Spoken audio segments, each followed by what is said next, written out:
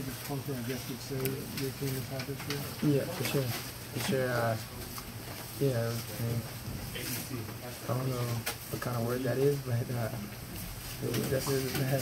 It was a bad night for sure. What, what, what happened? Why, why did it go the way it did? I don't know.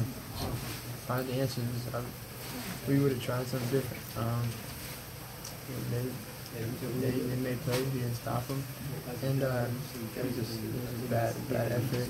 Um, and something you can't do in this league. You'll get killed every night. So we, we know we can't do that. How tough is it to contain someone like He's one of the toughest dudes to guard in the league. Um, it's tough.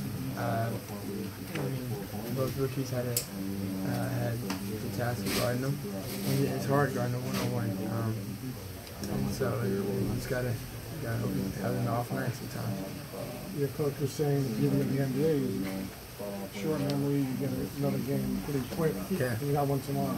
Yeah, I mean, that's that's the only good thing about tonight. Um, we got a chance to uh, come back tomorrow and uh, play better, play, play differently, and uh, it's the last game of this long road trip, so we gotta gotta leave it on the banks.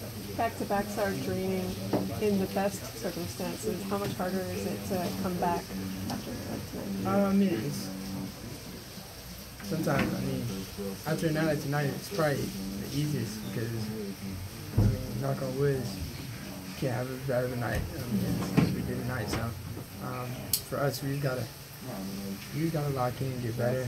I gotta, I gotta do better. Um, a lot of the, the reason why we played tonight poorly is because of me, and uh, I take, I take full responsibility, and uh, um, I gotta be better, and I work. The talk in the league was uh, the Clippers may be the team to beat in the West. Now that you saw them up close, what are your thoughts? I mean, they're, they're a really good team in the West. Um, there's, there's a lot of other good teams. Um, Clippers are obviously up there as one of, if not the best in the West. So uh, it's a long, it's the beginning of the season. Uh, it's a long, long way to go, but you know, obviously they're, they're up there. What's your strategy and what do you do to kind of bounce back mentally after a tough one like this? Uh, you gotta have you gotta have a short-term memory.